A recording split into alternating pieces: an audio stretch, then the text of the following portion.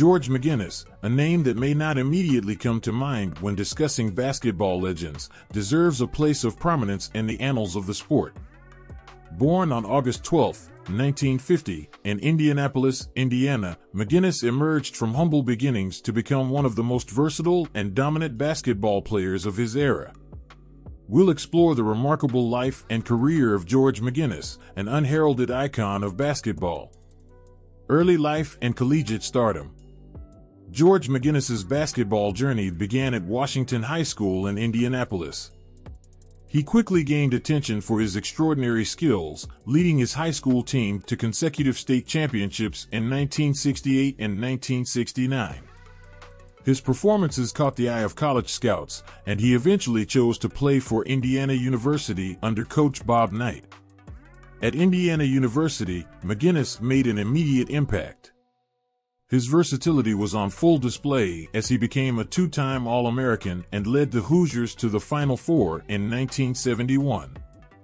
His incredible scoring ability, rebounding prowess, and court vision made him a force to be reckoned with, and he was named the Sporting News College Player of the Year in 1971. The ABA Dominance Rather than entering the NBA, McGinnis decided to sign with the Indiana Pacers of the American Basketball Association, ABA, in 1971. In the ABA, he continued to showcase his versatility and basketball IQ. McGinnis was a six-time ABA All-Star and a three-time ABA All-Star Game MVP. His impact on the Pacers was profound, as he led the team to two ABA championships in 1972 and 1973. George McGinnis's ability to dominate in virtually every facet of the game was evident during his ABA tenure. He was a scoring machine, averaging 25.2 points per game over his five seasons in the league. He was also an exceptional rebounder and playmaker, often recording triple doubles before the term became a household phrase. The NBA transition. In 1975, the ABA merged with the NBA, and McGinnis joined the Philadelphia 76ers. He seamlessly transitioned to the NBA, earning All NBA first team honors in his first season.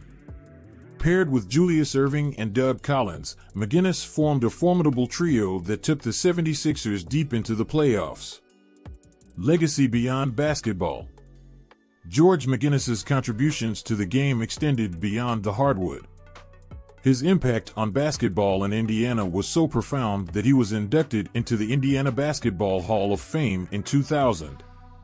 His iconic number 30 jersey was also retired by the Indiana Pacers in recognition of his significance to the franchise. Beyond basketball, McGinnis was known for his philanthropy and community involvement. He remained deeply connected to his hometown of Indianapolis, supporting numerous charitable initiatives and youth programs. The Unheralded Icon in spite of his remarkable career and contributions to the game, George McGinnis remains somewhat overlooked in the broader basketball narrative. His versatility, scoring ability, and championship success should earn him a place among the all-time greats.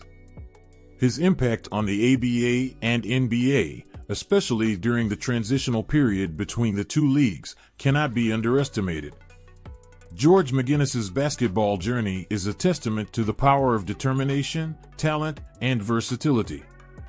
He excelled at every level of the game, leaving an indelible mark on basketball in Indiana and beyond.